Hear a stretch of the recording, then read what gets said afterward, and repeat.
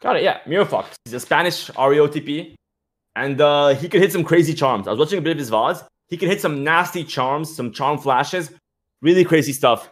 Yeah, on the other side, the red side, we have Puzipu.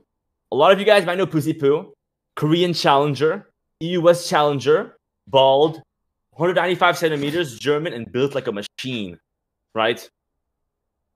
Um, so I'm pretty excited.